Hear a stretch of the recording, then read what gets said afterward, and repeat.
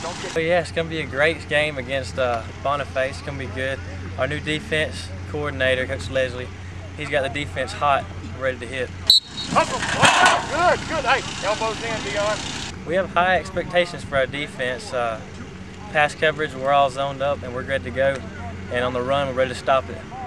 Our guys are working hard. I think they're ready to do something different this week, so we're encouraged to, uh, to line up Thursday night and see what we can do against another opponent.